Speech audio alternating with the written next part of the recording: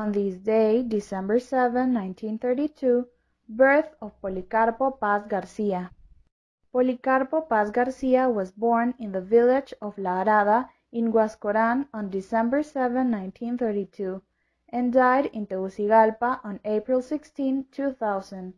He was President of Honduras since August 8, 1978, and proclaimed himself head of the military junta.